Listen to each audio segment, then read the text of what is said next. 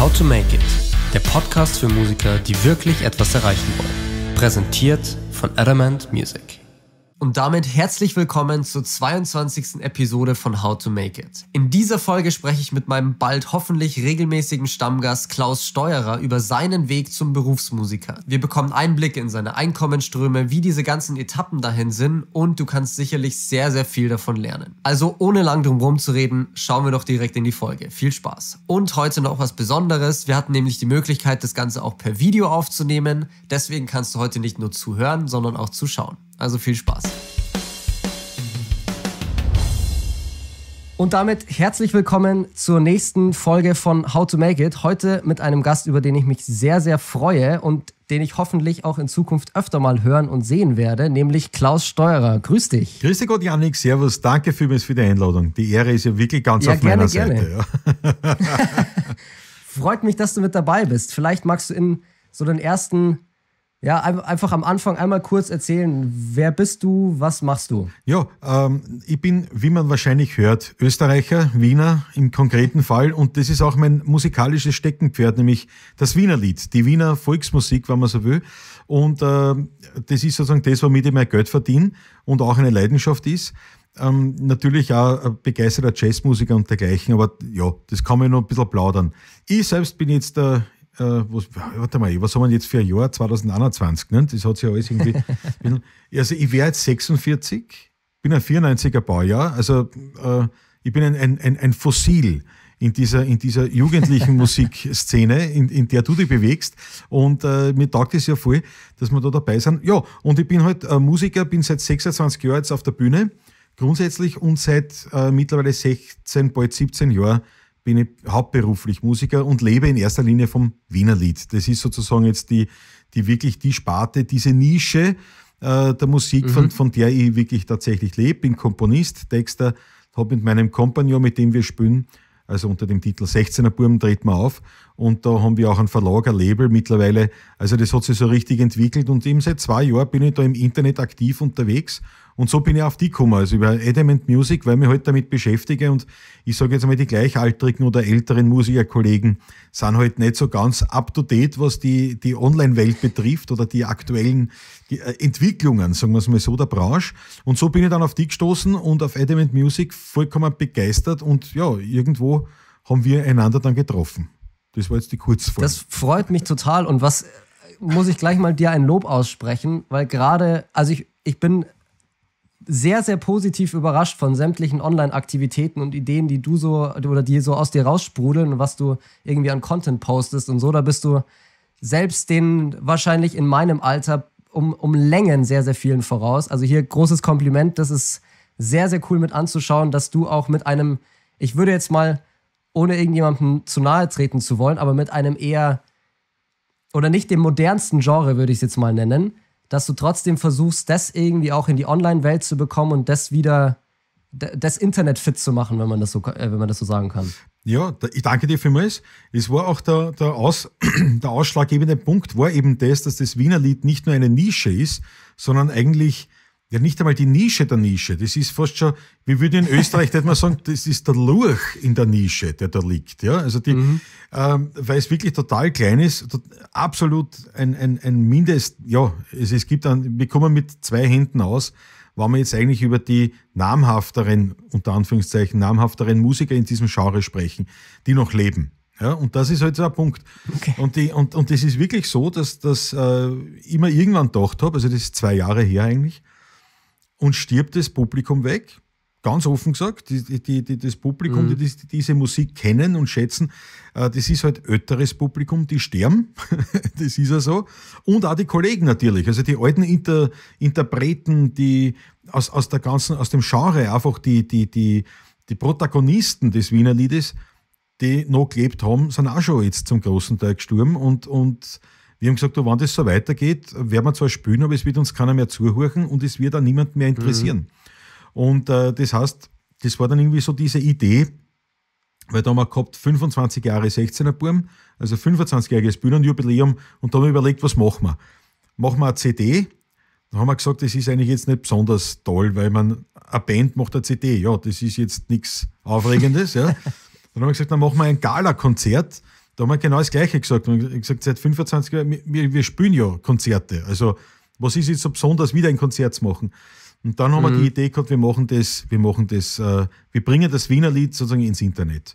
Und das war eigentlich so diese Idee. Und da habe ich mich natürlich noch gar nicht auskennt mit irgendwas äh, und habe mich dann halt begonnen zu beschäftigen. Und das ist eigentlich so diese Grundlage. Und jetzt sind es zwei Jahre her und mühsam ernährt sich das Eichhörnchen, aber es wird immer dicker und fetter. Schön langsam. ist doch geil. Also ich finde es super, gerade dass du, dass du halt versuchst, in Anführungszeichen mit der Zeit zu gehen, einfach verschiedene Dinge ausprobierst. Und ich meine, jetzt, was ich so von dir mitbekommen habe, oder was ich von dir mitbekommen habe, es fruchtet ja auch. Jetzt hier, gestern habe ich geschaut, irgendwie fast 4000 TikTok-Follower und gestern oder vorgestern hast du die 600 auf YouTube geknackt, machst täglich oder wöchentlich Livestreams, je nachdem auf welchem Kanal und so weiter, wo, wo auch wirklich viel Interaktion ist. Also es, es funktioniert. Punkt. Ja, ja. Ähm, es ist so. Also ich habe eins festgestellt, ich habe mich damit wirklich intensiv beschäftigt, das muss man dazu sagen. Das ist mir deswegen wichtig, weil viele missverstehen die ganze Geschichte. Die glauben, im äh, Social Media, Social Media macht es leichter. Und das stimmt aber nicht. Social Media macht vieles möglich, aber die Arbeit bleibt, also Arbeit muss trotzdem. Also es, es passiert stimmt. nichts von selber. Das ist, das ist richtig, ja? ja. Und das ist halt das, ich mich wahnsinnig damit beschäftigt und ich habe Stunden, wirklich extrem viele Stunden vor YouTube verbracht und haben mir Tutorials angeschaut und äh, äh How-to, nicht? Und diversen, diverse Dinge. Mhm. Und auch so, mal, so, mal, äh, so Sachen über Social Media Marketing. Nicht? Also Gary Vaynerchuk ist ja einer, einer zum Beispiel dieser Ikonen mhm. äh, von, von, dies, von dieser Sache. Und ähm, ich habe mir da einfach wahnsinnig viel angeschaut, wahnsinnig viel mich damit beschäftigt und dann begonnen umzusetzen.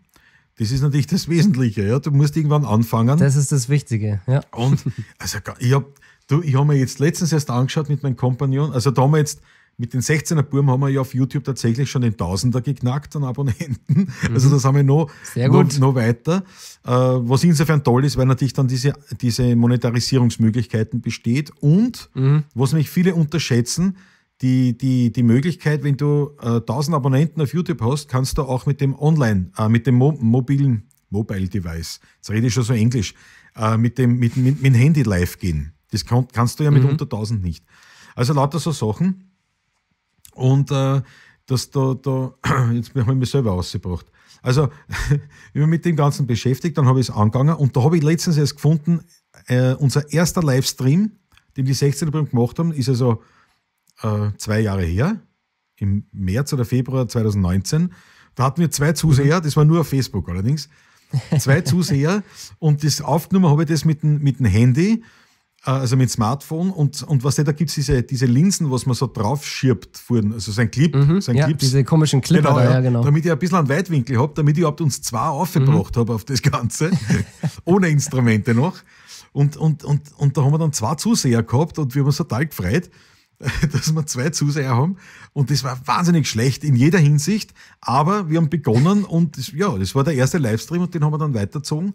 Und dann haben wir das irgendwann regelmäßig gemacht und dann mit dem Lockdown in Österreich ist dann, dann haben wir dann begonnen, das wirklich wöchentlich zu machen. Dann haben wir sogar zweimal in der Woche einen, einen Livestream gemacht und einmal in der Woche nur ein Konzert, meistens ein Frühschoppen mhm. am, am, Sonntag. Ja, das war aber jetzt während dieser wirklichen ersten Lockdown-Phase, wo man noch nicht recht gewusst hat, wie das weitergeht. Und da haben wir uns dann da mhm. eigentlich den Grundstein gelegt für diese, für diesen, ja, für dieses kleine Fundament, was wir da jetzt haben. Super. Also ich finde es total spannend und ich glaube, dass das gerade jetzt mit dem Punkt, du bist jetzt seit, was hast du gerade gesagt, fast 17 Jahren jetzt dann voll Berufsmusiker, ja, ja. hauptberuflicher Musiker genau. sozusagen. Genau. Ähm, vielleicht können wir da ein bisschen drüber sprechen, was denn so die, die Schritte waren zu, zum Musiker-Dasein als Profi, weil das ist ja so der, der Traum von vielen und gerade, das finde ich total inspirierend und spannend, wenn du sagst, Ihr seid ja nicht mal in der Nische einer Nische, sondern hier gefühlt, ihr, ihr sprecht im Prinzip niemanden an an sich und trotzdem kannst du davon leben. Das heißt, wenn du, wenn man Rock oder im Prinzip scheißegal, was man für ein Genre macht, man kann auf welche Art und Weise auch immer davon leben. Und das finde ich eine super geile Aussage. Was waren denn so die, die Schritte irgendwie grob zusammengefasst, dass du von, ich, blöd gesagt, ich spiele nebenbei, ich düdel vor mich hin zum Semi-Profi und dann wirklich auch diesen Schritt zum hauptberuflichen Musiker? Wie ist das, wie ist das passiert? Ja, äh, das ist natürlich gar nicht einmal so einfach zu beantworten, weil es eben passiert ist. Du musst dir vorstellen, mhm. wir haben äh, aus Jux und Dollerei mit diesem Wiener Lied begonnen. Das hat uns Spaß gemacht, das hat, hat Freude bereitet. Äh, und es waren halt, es war auch durch Zufälle, hat sich das eben ergeben, dass mein Kompagnon, mit dem ich jetzt spiele, der Patrick, dass, dass wir einander getroffen haben. Eigentlich habe ich seinem Bruder Gitarrenunterricht gegeben, damals nach der Schule. Ich war 17 okay. oder 8, 17 Jahre und der Bruder war halt mhm. 15 oder 14 und dem habe ich Gitarrenunterricht gegeben. Und weil ich in der Schulband gespielt habe, nicht, also so diese ganz klassische, klassische mhm. Hobbymusikerkarriere begonnen. Nicht? Also als, als Rockgitarrist natürlich, lange Haar und wie es gehört. ja. Und natürlich war dann schon die Idee für mich, aufs Konservatorium zu gehen und zu sagen, ich möchte, ich möchte das Musik hauptberuflich machen. Und dann kommen, da kommen natürlich alle Stimmen von überall her. Musiker ist kein Beruf, ja, lernt was Gescheites und so weiter und so fort. Ja. Äh, habe natürlich nie was Gescheites gelernt, sondern war dann auch, hab, war dann äh, selbstständiger Unternehmer. Ich habe hab, wurscht, also in verschiedenen Bereichen was gehabt, habe eine Firma gehabt, alles wunderbar, aber nebenbei halt immer so ein bisschen Musik gemacht und, und eben das Wiener Lied weiter gepflegt, weil das war eigentlich ein Hobby. Und ähm, wir haben natürlich dann, vor allem wie ich studiert habe, haben wir natürlich, äh, äh, wie soll ich sagen, das war natürlich ein Traum. Ein, also ein, äh, Heurigmusiker, nicht? also das wissen nicht die meisten in Wien, also die, die, die Heurigen und dort wird halt auch mehr oder weniger intensiv das Wiener Lied gepflegt und wir haben halt dort auch gespielt und als Student natürlich überall, also da haben wir ja keine großen Ansprüche gehabt, aber da haben wir gesagt, wir spielen mhm. überall und das war natürlich ein Traum. Wir waren beim Heurigen, wo wir ja ohnehin gewesen wären, ganz klar als Student, äh, wir haben fürs Essen, Trinken nichts zahlen müssen, im Gegenteil, wir haben sogar ein bisschen Geld verdient äh, haben musizieren können und so weiter. Also ein, ein echter Traum. Aber natürlich für einen Hauptberuf wäre das viel zu wenig gewesen. Nur, das haben wir halt so gemacht. Und ähm, nach einer relativ kurzen Zeit, wo wir wirklich begonnen haben, uns einfach einmal in diese Musik einzuleben als aktive Musiker, ähm, also sprich, wie wir mit schon langsam ein bisschen besser geworden sind, so könnte man es auch sagen, ja. äh, ähm, dann hat, wir haben natürlich da den Vorteil gehabt, dass wir so jung waren, dass wir uns wahnsinnig viele Fehler am leisten können, weil natürlich die, die Leute waren begeistert, dass überhaupt junge Leute spielen. Und ja, und das haben wir jetzt so gemacht und dann haben wir halt nebenbei jeder oder Firma gehabt und, und, und halt nebenbei gearbeitet. Und irgendwann war es dann so, dass wir gesagt haben, du, das wird zu viel. Also da ist dann schon losgegangen mit Engagements irgendwo. Ne? Und dann haben wir gesagt, das geht, geht sich nicht mehr aus. Also wenn du jetzt äh, selbstständig bist und nebenbei wirklich immer mehr zum Spielen hast, das geht nicht mehr. Und mhm. das waren also gute zehn Jahre. In dieser Zeit immer noch alle gesagt haben, Musiker ist kein Beruf.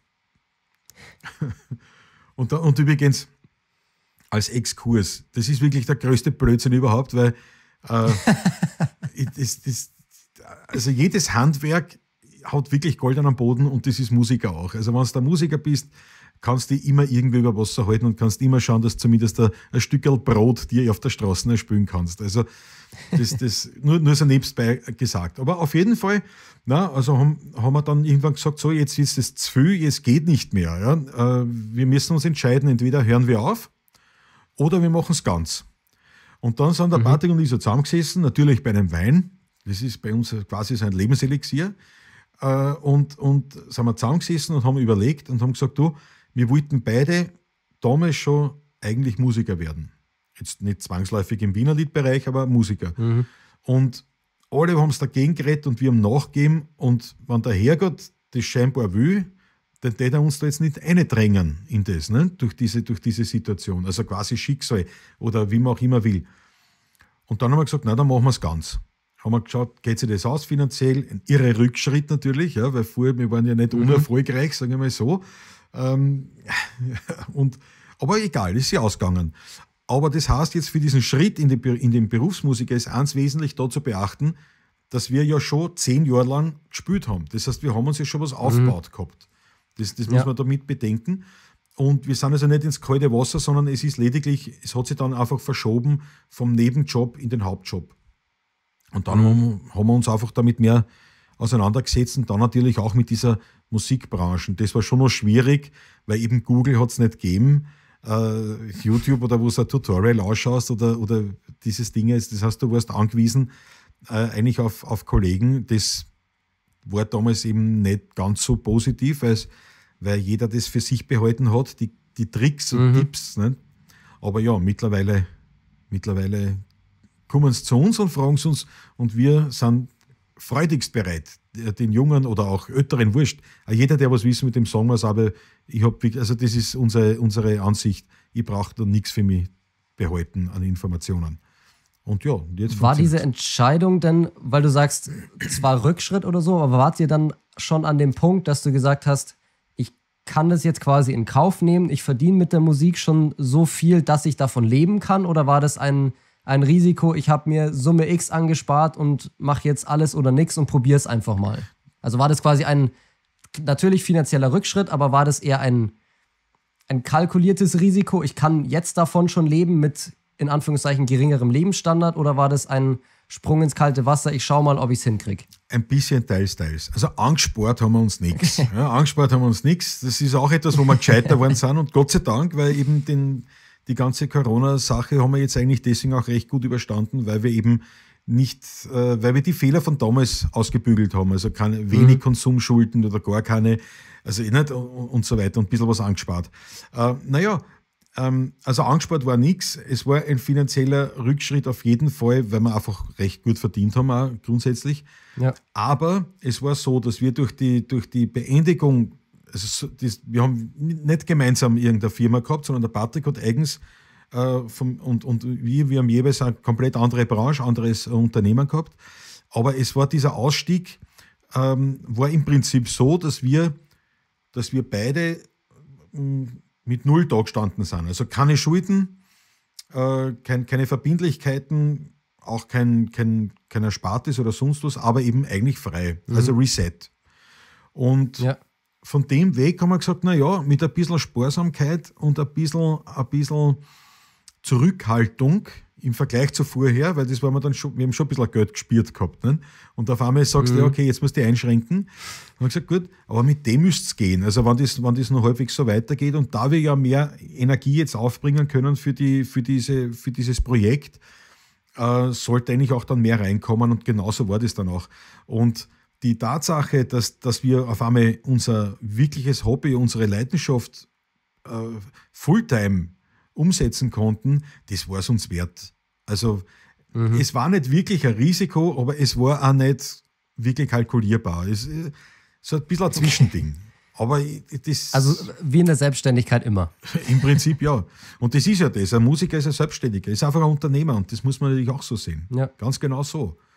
Und ja, und so hat es dann, so hat es dann funktioniert. Und äh, dieser finanzielle Rückschritt ist ja nur gesehen auf das, wo man wo man einfach schon gewusst hat, es kommt ein Geld einer und das war halt vorher etwas mehr als später. Und wir haben gesagt, mhm. na, das, also insofern schon kalkuliert, so, das wird sich schon ausgehen. Und die Mama und der Papa sind auch noch da und wenn es ganz hart wird, also mhm. ein, ein Gulasch kriege ich schon noch oder ein Stückel Brot. Ja. Also so in, so in die Richtung. Also es war nicht auf Messerschneide, aber ja, es mhm. war einfach ein, Reset. Aber dafür eben auch schuldenfrei. Also und, und inklusive Wohnung ja. und so weiter. Also wir haben beide wohnen können wir, wir, also wir waren im Prinzip komplett versorgt und eben auch finanziell auf Null. Und damit mhm. haben wir einen guten Start gehabt, schlicht und einfach. Ja. ja. War das dann, oder jetzt mal unabhängig von den letzten Monaten, aber so dein, dein Hauptberuf, ist es jetzt wirklich ausschließlich die Band oder machst du als, als Musiker irgendwie in Anführungszeichen nebenbei noch was, Songwriting, Komposition, Auftrags, was auch immer arbeiten oder ist es jetzt wirklich hauptsächlich Wiener Lied live und gegebenenfalls CDs oder sowas?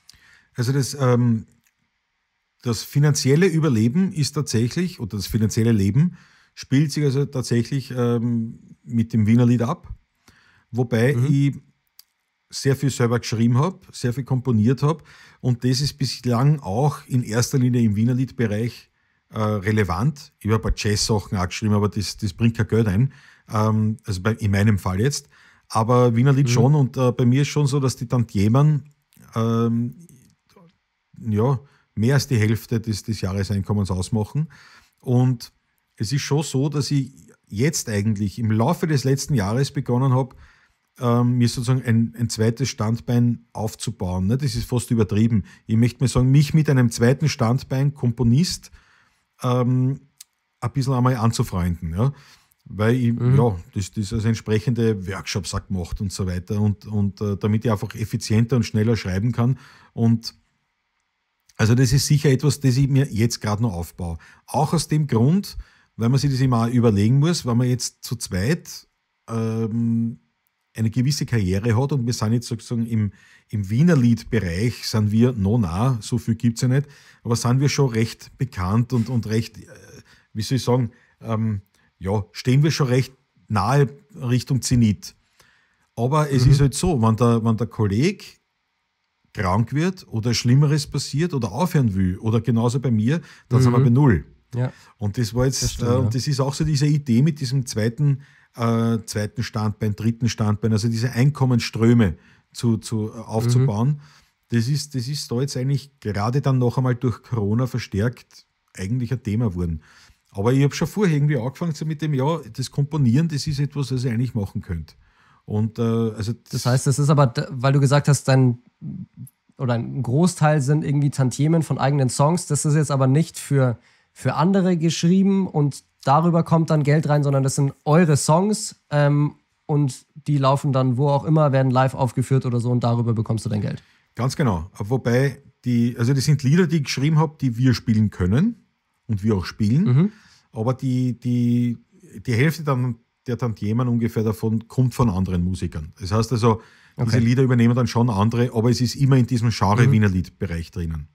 Okay. Und aber es ist jetzt nicht speziell für andere geschrieben, nein. sondern eure, eure Songs ja. quasi und dann in Anführungszeichen gecovert. Ganz genau, ganz genau. Wie es halt okay. so üblich ist in dieser Branche auch. Das ist ähnlich wie mit, mhm. mit äh, ähm, was weiß ich, was haben wir so, diese Schlager, volkstümliche Bierzeltmusik, ja, wo du, wo du, ja, das, das, das, da ist es üblich einfach. Du schreibst Lieder und das passt und das übernimmt dann ein anderer mit und so weiter. Also, ja, das, das ist so dieser Weg. Aber tatsächlich so diese Auftragskomposition oder die für jemanden anderen schreiben, ähm, das, das, das hatte ich irgendwo immer ein bisschen auf dem, auf dem Radar, aber dann eigentlich durch, durch diesen, nennen wir es einmal, kleinen Erfolg, den wir jetzt mit diesen 16er-Buben haben, mhm. da wird man faul. Ja, solange es gut rennt, man wird faul und man denkt dann nicht mehr, man, man, man isst die Made im Speck und, und aus. Und man denkt dann nicht mehr dran. Und dann irgendwann kommt schon so die Idee wieder, sage ich, was, was war eigentlich so das Faszinosum Musik für mich? Ne? Weil man darf ja nicht vergessen, wenn man jetzt die, das Hobby zum Beruf macht, bedeutet das ja immer auch gleichzeitig, man, man zerstört sich sein Hobby. Weil das, das, äh, das stimmt. Weil auf einmal, auf einmal, nicht, also früher habe ich gern gespielt, heute ist es mein Beruf. Und das ist einfach ein Unterschied. Das ist das, äh, mhm. ähm, man spielt halt nicht mehr, überall und man hat einmal dann irgendwann auch gerne mal nichts mit Musik zu tun ja, oder solche Dinge. Und man will nicht immer der sein, der halt dann immer die Gitarre in die Hand drückt und, und komm, unterhalt uns. Ne? Das sage ich, das magst du bei einem Fliesenleger ja auch nicht. Ne? Sagst du auch nicht. Hey? Du magst das eh gern. Du kannst, wenn du gleich bei, bei, mir auf der Party bist, kannst du mal gleich einen Quadratmeter in der Küche legen. Nicht? Das magst du auch nicht. auf die Idee würde man gar nicht kommen. Nicht? Aber äh, es ist halt so. Und natürlich, ja, macht man gern Musik und man spielt gern und das Ganze. Aber es ist eben, ja, es ist jetzt dann schon ähm, massiv das Thema Musik in deinem Leben drinnen, wo du dann sagst, okay, da nütze ich dann schon gerne mal eine Pause. Und das ist, muss man halt auch bedenken. Und dann irgendwann fängt man halt an, das, das ein bisschen wieder zu hinterfragen und will ich das, will ich das oder überhaupt gefällt mir das noch. Und das machen wir immer wieder, eben der Patrick und ich, dass wir uns auch gegenseitig ein bisschen motivieren in dem Punkt und sagen, äh, was war eigentlich das, was uns ausgemacht hat? Was wollten wir immer machen? Mhm. Und da unter anderem gehört auch das Komponieren dazu und diese Freude, wenn du ein Werk geschaffen hast. Ne? Und ja, und so und so eigentlich gibt es dann immer wieder, wenn ein kleines Tal sich aus abzeichnet, der Motivation, dann überlegen wir uns das wieder, schauen wir uns das an. Und bis jetzt, Gott sei Dank, sind wir immer wieder zurück auf, die, auf den, den Höhenflug des Musikers Sehr gekommen. Ja.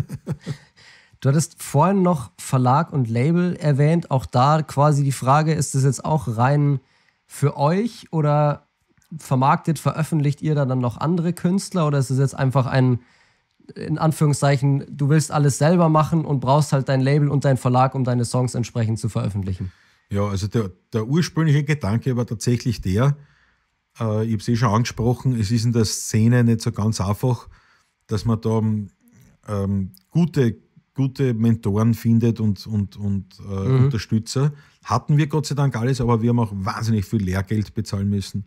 Und der, ja, die Idee war eigentlich das, wir haben die erste CD rausgebracht, das war, das war ein Fremdverlag, Fremdlabel.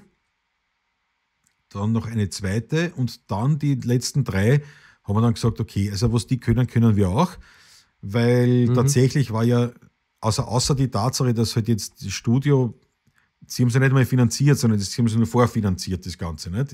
Mhm. Also, ja, also ein Studio ist da und, und, und sie machen dann halt, sie bestücken die Radiosender. Nicht? Du kannst dir vorstellen, wie viele Radiosender erfreut haben mit, ein, mit einer Wienerli-CD. Also vollkommen wertlos. ähm, und dann haben wir irgendwann gesagt, na gut, das können wir eigentlich auch machen. Das bringen wir selber zusammen. Mittlerweile ja dann auch die, die ganze technologische Möglichkeit, leistbare Möglichkeit da war. Ne? Also wir mhm. reden da jetzt, weiß ich nicht, die erste CD, glaube ich, war 2004 und, und dann irgendwann ist es ja so immer weitergekommen, dass du sagst, ich kann, ich kann zu Hause eine großartige CD aufnehmen, weil wir ja nur zu zweit ja. sind. Das heißt, wir brauchen zwei Instrumente und zwei, zwei Stimmen. Und das kann, man, mhm. das kann man im Homestudio auch machen und das kostet heutzutage keine, keine Lawine mehr. Also heute sowieso nicht mehr, mehr, aber das war damals schon immer so. Und ja, und dann, dann haben wir das so, so gemacht und gesagt, gut, was brauchen wir da, damit wir das bestücken können? Nicht? Die, die Radiosender, man braucht einen Labelcode und dieser ESRC und was weiß ich was alles. Und dann fragst herum, wo kriege ich das? Und keiner sagt eine Antwort. Ja, ja das ist alles sehr kompliziert, hin und her. Und dann habe ich gesagt, aus, nein, wir kümmern uns da um das wirklich selber und haben einfach diesen, diesen äh, Verlag Label gegründet, eben nur mit dem Hintergedanken, dass wir, dass wir unabhängig sind, dass wir unsere eigenen Codes haben. Mhm. Und auch für Freunde, ja, wenn man sagt, man einen braucht, einen Labelcode, soll kommen, kriegt er von uns. Ohne jetzt großartig in der Geschäft daraus zu machen. Ja, also einfach nur so. Mhm. Und dann war schon der Gedanke, wie wir immer mehr, immer mehr Lieder gehabt haben, die schon eben in diesem Rahmen durchaus Erfolge gehabt haben, dass wir gesagt haben, wir wollen uns gegenseitig ein bisschen absichern. Und viele Bands machen das ja dann so, dass zum Beispiel ähm, einer schreibt ein Lied und die fünf Bandmitglieder kommen alle als Komponist mit rein. Und mhm. das geht alles ganz gut, solange man lieb Freunde ist und solange kein großer Erfolg dasteckt. Das stimmt. Und sobald das Geld ja. rennt, dann wird, weil dann sagt irgendwann sagt der, der es geschrieben hat, erst Leilon, eigentlich, eigentlich habe ich das geschrieben, ja. Und da kommst du ja. dann nicht mehr raus. Und wir haben gesagt, nein, wir machen es anders. Äh, was wiegt, das hat's, wie man bei uns sagt. Ja, und, äh, wer, wer es komponiert hat, der hat es komponiert. Aber wir geben das bei uns selber im Verlag rein, an dem ja der andere auch beteiligt ist. Und damit wäre jetzt, mhm. wenn ein Lied ein Hit wird, ist der andere zumindest mit einem geringen Teil, aber immerhin daran, ja. daran beteiligt. Das, war eigentlich, das waren eigentlich die Hauptgründe für die, für die Gründung. Und ja, wie gesagt, der eine oder andere, also die eine oder andere Fremd, ähm, haben wir schon, aber das ist eben äh, aus Freundschaft an anderen gegenüber. Das hat jetzt kein wirkliches mhm. äh, Konzept dahinter, weil wir ja auch dieses Marketing und das alles gar nicht machen wollen. Und mittlerweile, wie du ja auch der, die Sicht hast, ein Verlag, ein Label, wozu? Das stimmt. Der, ja, ja, also äh, gebe ich dir vollkommen recht. Du kannst es heutzutage alles selber machen ein Label und ein Verlag hat meiner Meinung nach dann oder hat natürlich noch Daseinsberechtigung, aber ist dann sinnvoll, wenn du entweder keine Zeit hast, dich um das Zeug zu kümmern oder es dich halt einfach nicht interessiert und du dann bereitwillig auch gerne die, die entsprechenden Prozente abgibst und dich nicht drum, äh, drum kümmern musst.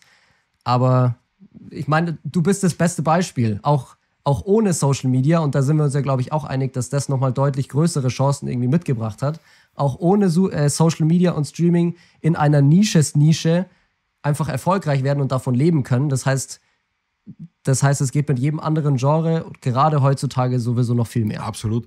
Ich habe erst ähm, äh, vor kurzem, ich glaube, das ist schon veröffentlicht worden, äh, mit Jörg Seidel, das ist ein deutscher Jazzgitarrist. Ähm, und mit dem habe ich das plaudert und der hat genau das Gleiche, also der, er hat das auch, zeigt es an seinem, an seinem Beispiel, dass du mit Jazz und das ist zwar ein, ein, eine Nische, aber nicht so eine kleine Nische, also durchaus eine, die schon mhm. besser besetzt ist. Aber mit Jazz, ja. du kannst ohne Probleme davon leben. Nur eben, ja, es geht nicht dran vorbei, dass du was tun musst. Und nicht nur äh, Waiting for Inspiration und, und, und solche Sachen, sondern du, du, musst halt tun. Ja? Das, das, ist, das ist halt so. Und dieser Jörg Seidel, der hat, äh, äh, das genauso erklärt. Der hat gesagt, ja, ich, ich muss mich ja geschäftlich auch darum kümmern. Es nutzt nichts, wenn ich gut spielen mhm. kann. Ich muss das verkaufen können. Und ich, ich, darf mich nicht, ich darf mich nicht schämen dabei, dass ich, dass ich mich verkaufe. Voll, das, ja. Ja. Das, das, das ist halt schon etwas, eben, es ist ein, ein, ein Unternehmerberuf. Musiker sein ist ein Unternehmerberuf. Oder du bist Orchestermusiker, dann bist du Angestellter. Ja? Aber wie viele gibt es davon? Ja, wie viele gibt es und wie viele sind damit? Ich, mein, ich persönlich habe gesagt, bist du gescheit? Stell dir vor, weiß ich nicht, Wiener, Wiener Philharmoniker ist eine tolle Geschichte und wir spielen, der Patrick und ich haben die Ehre, ähm, wenn er stattfindet, äh, beim Philharmonikerball im, im, Wiener Musikverein auftreten zu dürfen. Ja? Also das ist eine super Sache und ich liebe die Philharmoniker und alles, nur ich könnte mir das nicht vorstellen, dort Musiker zu sein. Weil, weil das mhm. einfach ein, das ist ein komplett anderes Jobprofil, als Musiker zu sein, als das, was ich darunter verstehe. Und das mhm. muss auch anliegen. Absolut. Ja? Aber Total. Dafür brauchst du halt nichts verkaufen. Da kriegst du dein Gehalt und ja. du musst halt auch das spielen, was man da sagt. das ist wahr. Da ist dann, also ich bin da überhaupt nicht drin in der Welt, aber ich könnte mir zumindest vorstellen, dass es da dann wenig mit eigener Kreativität und ich, ich bringe mich da ein, sondern da hast du halt deine Stücke, die vor gefühlt dreieinhalbtausend Jahren geschrieben wurden, manchmal neuer, manchmal älter und die spielst du halt. Ganz genau. Auch völlig in Ordnung, aber ja, ja. ist halt, glaube ich, zumindest nicht das, was man sich unter einem klassischen Musiker vorstellt. Naja, äh, nicht wirklich, ja. Oder wenn du, wenn du immer äh, mit einem Ballorchester, es muss jetzt gar nicht der klassische Orchester, aber ein Ballorchester, du hast, oder Big Band, ist genau das Gleiche, ja. Ähm, es ist, es ist das Schöne ist das, es gibt die Möglichkeit. Du kannst, das, du kannst, wenn du als Musiker, ähm, ja, wenn, wenn, du wahnsinnig gern Musiker bist, aber einfach kein Geschäftsmann und die damit auch nicht beschäftigen willst, dann ist das, mhm. das, ich meine, das ist einmal sowieso die Grundlage, dass du mit dir selber bewusst wirst, was du eigentlich bist und willst und kannst und tust. Ja. Und wenn du sagst, na, ich bin leidenschaftlicher Musiker, aber ich will mit dem Ganzen nichts tun haben, na, dann ist ein Orchestermusiker oder eben Studiomusiker oder so. Ne, Studiomusiker ist schon wieder gefährlicher, da musst du schon wieder verkaufen können. Aber eben äh, Angestellter, also Verkauf im positiven Sinn meine ich das jetzt, ja. Mhm. Ähm, dann, dann ist der Orchestermusiker für dich genau richtig. Wenn du sagst, ich bin, ich bin wahnsinnig gern Musiker und, und ich kann mir gut verkaufen, aber ich bin, keine, kein, ich bin kein, kein Leader, ich, ich will nicht vorne stehen. Dann zum Beispiel sagst du, dann ist eine Studiomusiker super.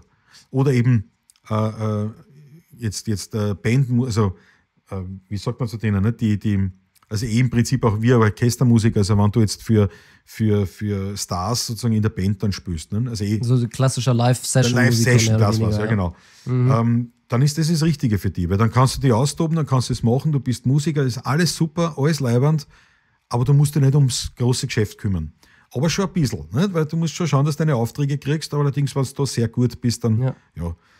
Und wenn du ihm sagst, nein, ich will Musiker sein, aber ich bin eine Rampensau, ich will, ich will aussehen, ich will, ich will, das, ich will dieses, dieses Leben führen, ja, dann darfst du eben weder Sessionmusiker noch Studiomusiker noch Orchestermusiker werden. Und dieses Selbstbewusstsein oder Selbst, äh, äh, nicht Selbstbewusstsein, wie sagt man da besser? Äh, Selbst, Selbsteinschätzung. Selbsteinschätzung, ja, genau.